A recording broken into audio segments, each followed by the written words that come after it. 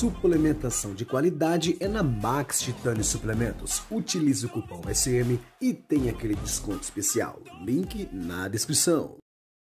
Qualquer um podia ter ganho, mas o Ramon tem sido mais consistente. Ele tem sido mais consistente no físico dele. Enquanto você faz shows incríveis com aquele show do Rio, aí depois chega outro show, nossa, não é o mesmo Zanca. O que, que, você tem que fazer para ter a consistência do Diogo Montenegro no Magic na Classic?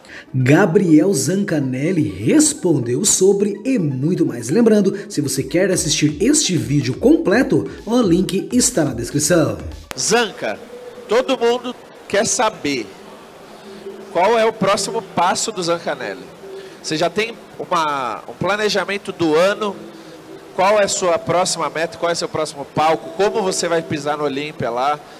Tem isso tudo programado, já está em andamento. Sim, sim, já está na cabeça. Compartilha aí com a gente. Já estou sonhando com isso.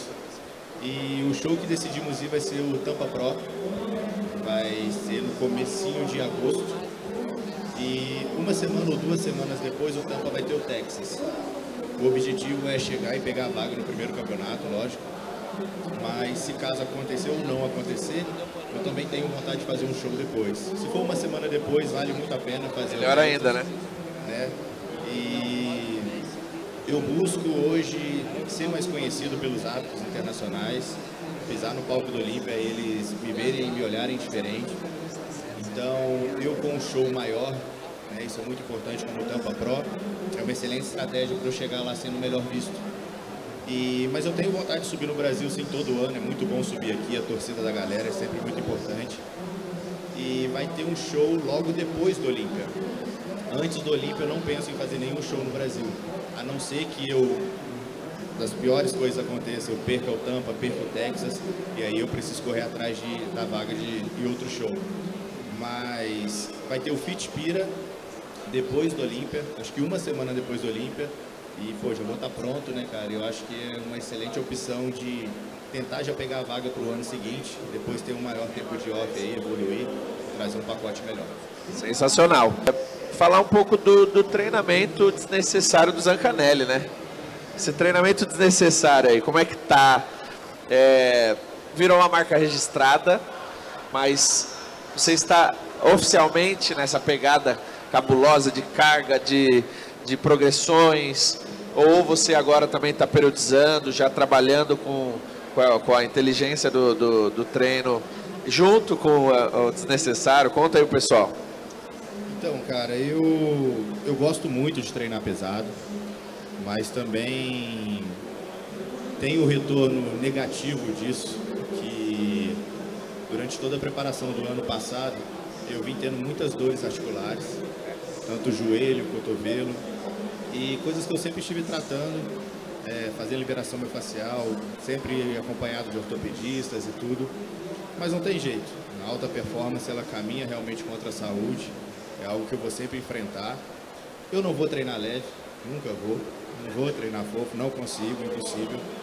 E antes eu estava sem o Pacho, o Pacho infelizmente sofreu um acidente, acho que vocês sabem, e ele ficou um tempo afastado.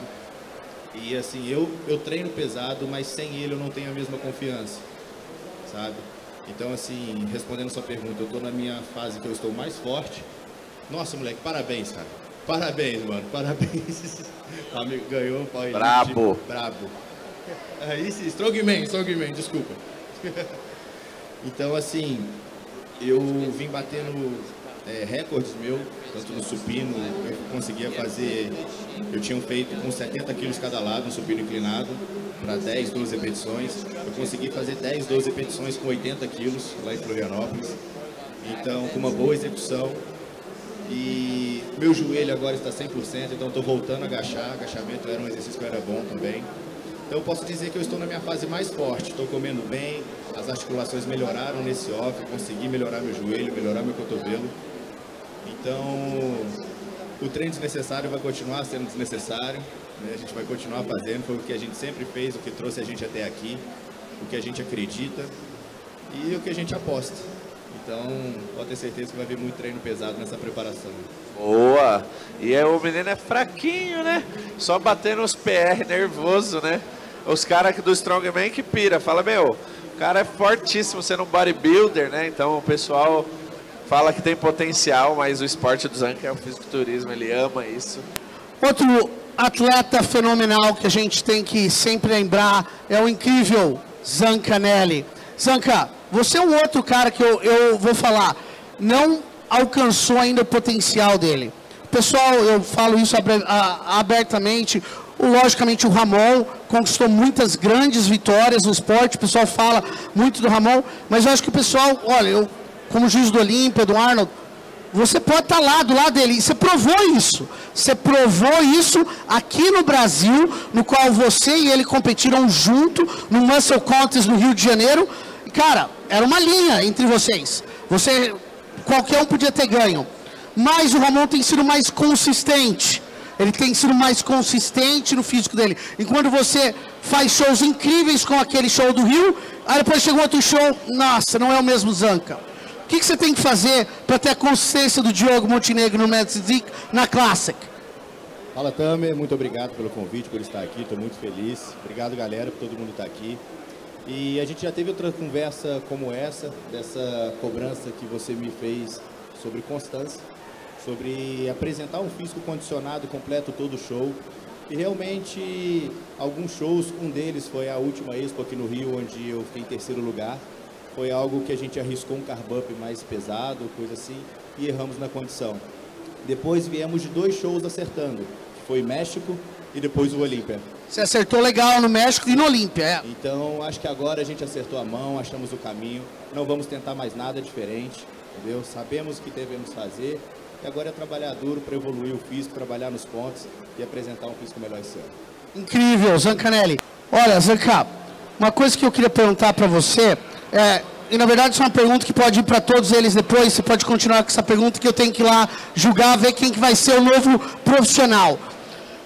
Ó, eu, eu vejo que no, quando eu estava treinando, eu falei isso no outro, no outro toque, o Ronnie Rabbit, cara, a gente era muito, muito rígido com a nutrição mas muito rígido. Só podia comer uma quantidade de arroz, só esse tipo de carboidrato. Hoje eu vejo atletas com uma diversidade muito grande. O pessoal está comendo pizza, bolo, tudo no carb up.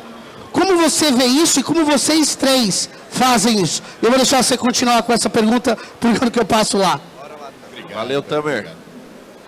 Ó, é, falando sobre minha carreira, minha experiência e tudo que eu vinha que eu já vinha fazendo, carbar sujo nunca foi bom para mim. Já tentei, já tentei várias vezes e acho que todo, nem vou falar a maioria, mas todas as vezes que eu tentei eu não subi com um físico tão bom quando eu poderia subir se eu tivesse carbado limpo. Então, o Pacho fala para mim assim, Zanca, para você subir bom, você tem que subir passando fome. Então, eu, o meu carb eu passo mais fome do que a dieta. Então não tem nenhum momento confortável assim que eu estou comendo bem. O, o, meu físico ele, ele enche muito rápido, eu preciso assim de dois dias carvando no máximo. Se eu passar disso vai vazar água, entendeu? Então eu não sou a favor. Já vi pessoas que dão super certo, né? não sei se o Kaique ou o Diogo fazem, mas comigo não tem como.